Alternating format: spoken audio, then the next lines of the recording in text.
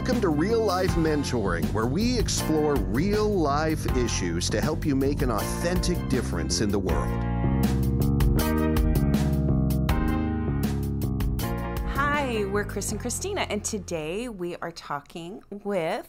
I feel like there needs to be a drum roll or something with our friend, our church member person, our fourth daughter. We've got lots of adopted children. She, Leah Gatlin, I'll just put it out there. Yeah, we're talking with Leah. We're happy to have you today, Leah. Yeah, and we're going to be talking about boundaries. Why in the world would we be talking with you about boundaries? Well, that's a really funny question to me because if you talk to almost anybody who knew me undergrad or lower, they would also laugh hysterically because I was not good at setting boundaries. I really was a doormat and I wouldn't even tell you what restaurant I wanted to go to. Well, we're going to get into that and Yeah. define those. And uh, before we jump into why we're talking about that, tell us a little bit about your credentials, other than just Yes. being our friend. Like, Right. you hold some pretty impressive credentials. So just lay it out for us. So, well, first, I am your mentee. So, in a podcast talking about mentoring, that feels important. Yeah. I have my bachelor's in international studies, which has nothing to do with the podcast. I have my master's in social work, which really has a lot to do with the mm. podcast. yeah. I also have my doctorate in social work. I work at a local church and I do really my job is to bridge the outside community with the inside community mm-hmm. and anything else that needs a social worker. Yeah. And so we joked, but the views expressed today are those exclusively of Dr. Leah Gatlin and no organization that she's Yes. affiliated with. Correct.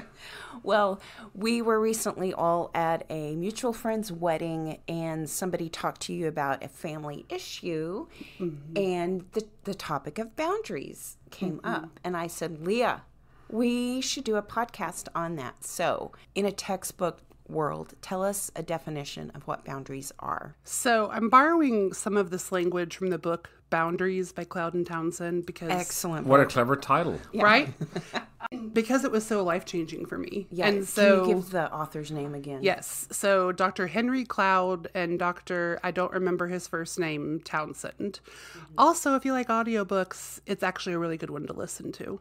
But they talk about how boundaries are the same as like a fence on your property line.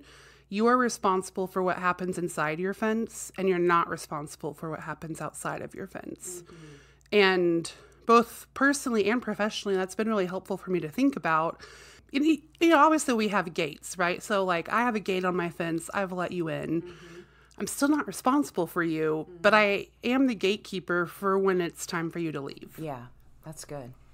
We came across this book. Do you remember when we first? Yeah, tell No, that story. probably 20 years ago, mm-hmm. I was a leader, and in, in this church, I was the pastor, and it was a new church, and there was a woman in the church who was, I would say, eating my lunch, driving me mm-hmm. crazy.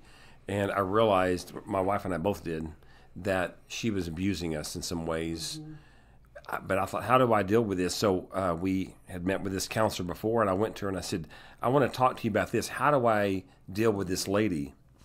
And she had me explain, and I explained the situation. She goes, I may know that particular lady, but I know the situation because I've dealt with this over the years. She goes, We're not going to talk about that lady or your situation. We're talking about your problem, Chris. Which was lack of boundaries. Lack of boundaries. I, Yeah. s- I remember thinking, what What are you talking about? She mm-hmm. picked up the book off of her desk and said, Go purchase this copy or this, this book, Boundaries, and then come back to me after you've read it.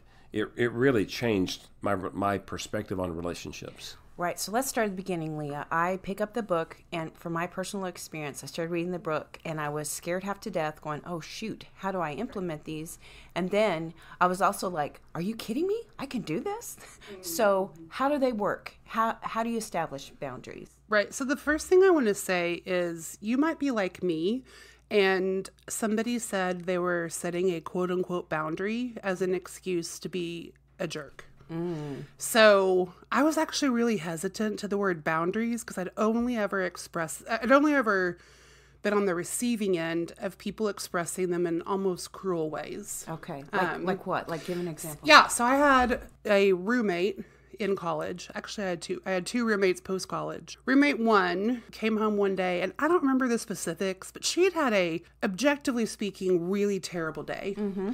Roommate two was at home. I don't remember what she was doing, but it was nothing of life and death importance or anything like that. So roommate one just naturally starts unloading on roommate two about I've had such a hard day, you know, and roommate two later in telling me this story said and she didn't even ask if I like had the time or the capacity to listen. And so, sh- but rather than saying, "Hey, roommate one, what you're saying is important, and I want to give you the time to listen, and I mm-hmm. can't listen right now," mm-hmm. she just sort of, I think, just basically told her to shut up and get over it. Okay. And so I'm like, and that's not a boundary. That's just being, rude. there was a place where she could have set a boundary. Sure. And so what's interesting to me too is I think all of us have boundaries. We just mm-hmm. don't label them as boundaries. Mm-hmm. So, for example, I have like a texting app on my phone that's for work, mm-hmm. and I had called somebody. I try very hard not to call people related to work on Yeah. this phone, but anyway. So, and somebody called me, and it was five thirty. My boundary is I don't answer my work phone after five thirty Yeah. Unless it's somebody who I know, man, if they're calling me at 5:30, they really need something. But I don't even think of that as a boundary until, you know, Yeah. I was doing this podcast. Yeah. So what happens? Somebody calls you at 6:30. Mm-hmm. How do you assert that boundary? Right. She, do- well, she doesn't answer the phone. Right? Yeah, that's Yeah. the phone is the easiest one because mm-hmm. contrary to what most teenagers think, your phone does not have to be answered. Hmm. That's a whole other podcast. Right. Yeah. Now, if like so in my family we have a rule, if we need to know something urgently, it doesn't have to be an emergency, you call mm-hmm. twice, which means I really do need to speak to you urgently. But so if somebody calls me two or three times and I will call them and I'll say this needs to be an emergency. Yeah. And if this is an emergency, one, please don't call me this late. Two, Right. don't call me this many times in a row. Let's talk about why do we need boundaries? So boundaries, you know, right now soul care is like the hot topic, is the Mm-hmm. hot word. And I think boundaries are one of the first steps of still soul care. Mm-hmm. It's how we don't, especially for introverts, how I don't hate my friends. I don't hate my family. Mm-hmm. Yeah. you know, and it's how I keep myself healthy. And I actually I've seen other people's lives benefit from me using boundaries. Mm-hmm. Yeah. It's not just for, me, for us. Could you give an example of that? I didn't think about that. How it benefits other people. Yeah, so in my job, I deal with a lot of people in really desperate situations. Mm-hmm. And some of them have nobody's ever expressed a boundary, or some of them mm. they get so upset and so emotional that people kind of get afraid of them. And so if they start getting upset with me on the phone, you know, let's pretend it's Christina, I'll say, Hey, Christina, I understand you're upset right now. You can either calm down and I can keep talking to you, or you can keep acting like this and I'm going to hang up and I'm not going to answer when you call back. Yeah. And I've noticed though, like I have we have one person in particular, now she can tell when I'm getting ready to set a boundary and she actually will calm down before that. So So that's really beneficial for her. She's- Right. Yeah, because people are more willing to talk to her. It's going to help her in a job situation. But it's fair to say, initially, you give someone a boundary, it doesn't feel like they're not going to think it's helping them. Right? No. And a lot of times, so I like my two helpful tips, if you will.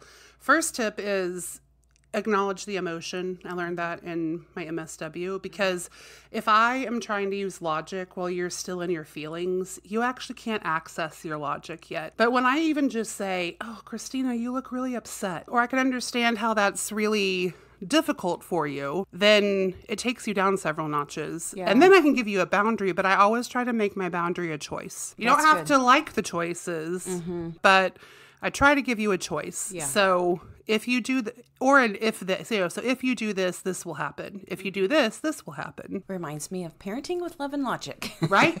yeah. When I had a three year old. You know, and I also my my mom gets so maybe frustrated is the wrong word, but she sees these young parents complaining about how they can't. They'll have like a three or four year old, and they're like, I can't even go to the bathroom by myself. Right. And my mom, who is the sweetest, kindest woman, who does is not a super boundary person, but she'll say, "That's your own fault." Yeah. Because I remember as a kid, you did not bother mom in the bathroom unless somebody was bleeding or the house was on fire. So when I first read that book, I was in, my mom was alive, and there was a lot of mm. unhealthy things mm-hmm. that if she had an emotional breakdown, it was then my issue to mm. fix it, mm-hmm. come to the rescue, get involved in the situation.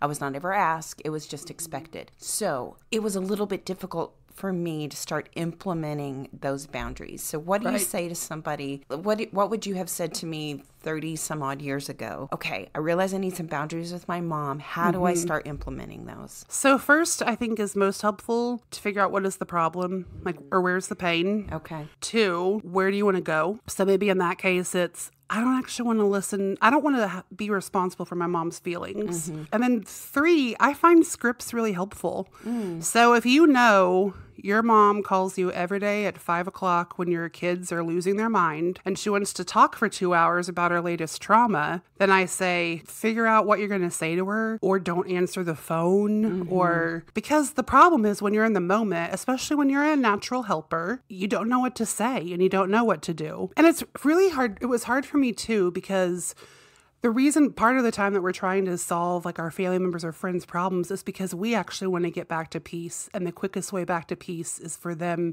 to get themselves under control Right. so Yeah. yeah so i would say figure out where you want to go mm-hmm. the next thing too I, I just read this at lunch is modulate your own feelings Okay, what so does that mean? like or regulate your so if uh-huh. i am really mad or really frustrated or really anything except happy mm-hmm. it's not a good time to set a boundary Oh, gotcha. it's yeah. sort of Yeah, like yeah, how yeah. you tell parents don't discipline out of anger Right. Okay. so if I'm stressed out, I need to take some deep breaths. Then moving forward, again, it's acknowledge the emotion or realizing, saying, Hey, mom, I know this is different from how we've been in the past, mm-hmm. but I need to make a change. And here, here's how, what that change is. So Right. I can no longer talk to you for two hours at five o'clock every day. What I can do is talk to you for 30 minutes if you want to call me at three when the girls are taking naps. Or, you know, Right. you because you have to figure out what you can live with. And I find too, I've done this before where if I know something is coming up that's mm-hmm. going to trigger some Right. I don't like that word, but it's going to cause some boundary Right. crossing, I give the person some warning and I say, "Hey, I know previously in situations like this, it has been X. Yeah. But in this situation, my rules are Yeah. why. Mm-hmm. Because then also it gives them time to get mad at you and frustrated and to clarify the boundary before the event happens. Yeah, that's good. I love the idea of having a script. That was super helpful for me. And then I'm thinking of that listener who would have been like me 30 some odd years ago going, Am I allowed to do that? What's your answer Yeah. to that? Well, I go back to I am responsible for me. Yeah. Once I realized I literally cannot control other people, it is impossible. It was actually both terrifying and freeing. Yeah. You know, and when I realized, you know, in your case, if my mom has an emotional meltdown, it's not my fault. Yeah. I am not responsible for fixing it for her. Right. Yeah. A couple years ago, I was praying and somebody was upset at me. And I thought, I don't think I did anything wrong here, but they're very upset. Yeah. And I just felt like Holy Spirit said to me, just because that person is upset doesn't mean you did anything wrong. Right. But also, that person gets to be upset because those are their feelings and it doesn't matter if they're related or not. Right. We have said before that we are unashamedly, um, we approach things through a biblical worldview. And I think when I could wrap my head around, Jesus set some boundaries. Uh, yes. God, as creator, sets boundaries. I could get behind that. Like, it just felt, I had a warped sense of my own what it meant to be a Christian. Like, I can take up for myself, which is really a very Right. healthy. Yeah, it goes along with what you're saying. And especially for women who grew up in the South in evangelical type circles, Right. where submission, which is biblical, becomes I have to help everybody and do everything and sacrifice myself, which is kind of the problem with those I am third awards too Yes. of Jesus, others, yourself, because you know the Bible says to love your neighbor as, yourself. So if I don't love myself, I can't love my neighbor. Mm-hmm. That's a good point.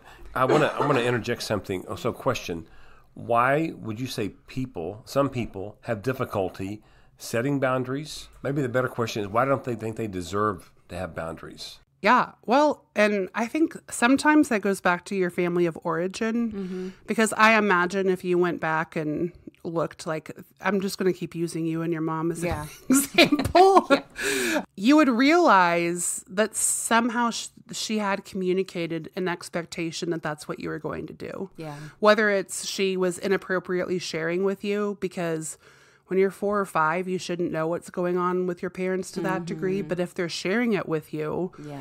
and you happen to make them feel better one time, then it becomes like maybe your mom thinks she is incapable. Yeah. And so it's really hard when you grow up a certain way or or people especially if people applaud you. Oh, Christina, you're so easy to get along with. Oh, mm. Christina, you're so thoughtful. Mm-hmm. You want to keep doing that. So that way, that could be a sign of a person without boundaries. Yeah. Not necessarily, but it could be. Mm-hmm. Yeah. And es- especially if when we talk about boundaries, immediately you think it's cruel, I would ask what boundaries were set with you. And maybe there weren't any. Leah, maybe this Mm-hmm. is another episode on boundaries, but there are a lot of children, teenagers, and young adults living in homes Right. with parents who do not allow them to have boundaries. Right. And any thoughts on that? Because I wasn't allowed. We didn't know. I didn't know it existed. And if I thought about it long enough, then I felt shame for trying to have a boundary with my parents. Mm-hmm. So you feel like you're stuck sometimes. Right. And I'm not naive enough to think that a good, honest, healthy conversation works in every family. Right. I mean, I didn't mention this before, but I was a therapist for a couple of years. So mm-hmm. I would say then, I get, what can I control? And I can control my reaction. And so if my parents aren't allowing me to have any boundaries with them, which for the record is super unhealthy. Yeah. So in, in case any parents are listening who have no boundaries, Mm-hmm. super unhealthy. It does not help your kids. First of all, I always say try talking with them about it and mm-hmm. explaining your point of view in a calm, reasonable manner and saying, is there a way that we could compromise on this? Mm-hmm. Yes, maybe you need to know where I'm going for the evening. And if my plans change, I need to check in with you. But I don't need to call you every 15 minutes. Yeah. Go ahead. No, I was just going to say, I grew up in a very dysfunctional home, and Mm-hmm. had I understood boundaries, it would not have been allowed. And so, as an adult, as I have reflected over my relationship with my parents, Mm-hmm. boundaries would not have been allowed. It would have been worse for me. And so, it gives me compassion for children and teenagers living in homes like that. And I go, how do how do you help somebody in a home Right. with parents who not only don't understand boundaries themselves, Right. but they will not allow others to have it in their lives, and you're stuck in some ways. Well, and I think again, self-regulating of, you know what? I don't have to get upset every time this happens because I can't control them, but I can Yeah. control how I respond. Yeah. exactly. I was thinking about for somebody who's listening, speak to.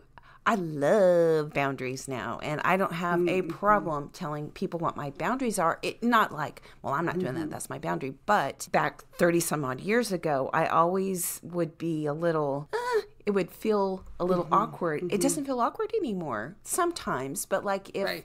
I'm thinking back to to probably the the wildest extremes when we took care of your mom, Yeah. and she had all these demands. It was very easy for me to go, "Oh, I'm so sorry. I can't do that now. I'd be happy to do that, you know, tomorrow, but I can't Right. do that now." I will say though, even as a, a grown man, I, I gave her my mom strong boundaries, but it was at times internally it was difficult. Right. Yeah. I still Right. struggled. Like, am I not being kind? Actually, I was. Right. But her reactions, not responses, but reactions, Mm-hmm. made it feel like I was being unkind. Well, I was going to ask you, what if others don't respect them? But you've talked Yeah. about that. You can't control others, but you can Right. control how you respond. Right. Yeah. And I always I try to always label what's going to happen if you violate this boundary. Even if I'm setting occasionally I don't. So if I just say, "Hey, I'd prefer you not call me after 5 or whatever." Eventually they'll get the clue when I don't answer the phone. I hope.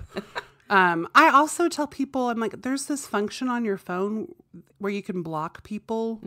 So if they're violating your boundary, you know, Yeah. so it can be really hard. And I still find myself falling back into old patterns with mm-hmm. people. And sometimes it's, fa- you know, family and friends we had in high school, which Yeah. we can tend to revert. But if that happens, I will stop and say, okay, well, I've already committed to this and I'm a person of my word, so I'm going to mm-hmm. do it. But let's remember next time when somebody requests something, I need to wait 30 minutes because I'm a chronic people pleaser. That's good. Yeah. So- know thyself. to lead thyself. Right, and set up those safety things. But I think too about like a budget is a boundary, mm. and it feels awful Yeah. the first time you do it or you start tracking your spending. But eventually you realize that those boundaries actually free up your spending. right. Okay, Leah, you, you said people pleasing. Do you think Uh-huh. it's possible to have healthy boundaries and be a people pleaser? So- it seems contradictory. I'm going to say something maybe very controversial. You might have to edit it this out of the podcast. But I don't think people pleasing as we know it is a desirable or healthy quality. Oh, I agree. Now, and I think boundaries is how you stop being such a people pleaser. That and the first time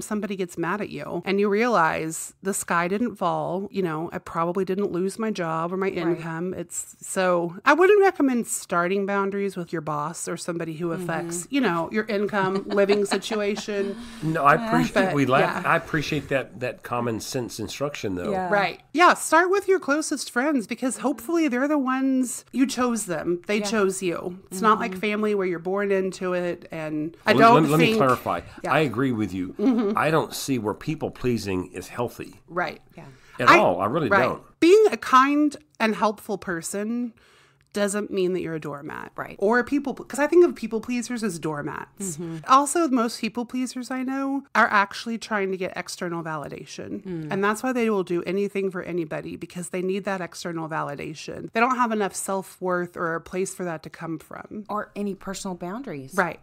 Well, and I have compassion for that because mm. I don't come across as a people pleaser, and I'm mm-hmm. not as a whole, but I, I mm. can tell in certain situations where I've crossed that line, and I go, why am I doing that, or mm-hmm. saying that, or letting that happen? Mm-hmm. Right. I'm too concerned in pleasing that person. Right. Fortunately, I'm healthy enough at this point in my life. I step out of that Right. pretty quickly. Well, and sometimes too, it can look like respect. I think of an old boss I had who I would stay late. He could ask me to do pretty much anything, and I would mm-hmm. say yes.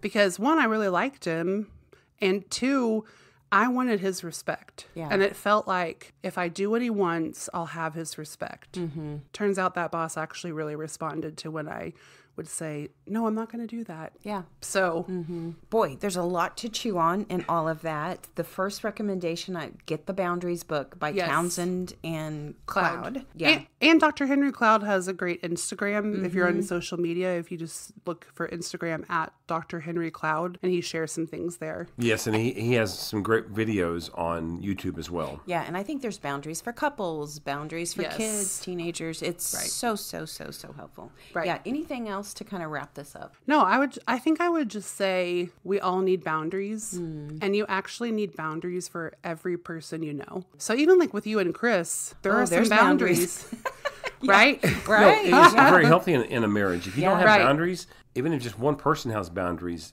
yeah. Right. it gets complicated. Right. And it, I think it's really good, even if you have young children, to have boundaries so then that they learn it's healthy. Because in child development, you know, when kids are saying, mine, mine, mine, mine, mine, it's because they actually think that item is an extension of themselves. Mm. And I think about that so often with people of like, if I think of, like, if you thought your mom was an extension of yourself. So mm-hmm. anyway, I would Yeah. say have them with everybody, Yeah. have them with yourself too. That's good. Yeah. And if it helps you write them down, write down some scripts for what am Mm-hmm. I going to do. I think that's such a good practical tool. Yeah. And again, my secret weapon is always acknowledge the emotion Mm-hmm. because I don't care how amped up somebody is. I mean, I've literally had people here who are on drugs and alcohol Mm-hmm. amped up, and I'll say, Oh, you look really upset. Mm. And they calm down. So, That's good. yes.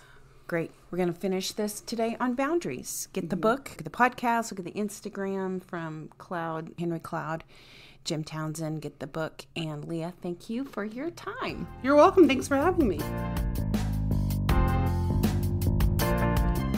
We want to thank you as always for listening. If today was helpful, if something that you listened to was helpful, we would really love it if you would go to Apple or Spotify, leave us a review, download, subscribe, and for all things related to podcast, if you'd like to give a financial contribution to help us continuing bringing this sort of broadcasting to you, just go to FahrenheitMentoring.org.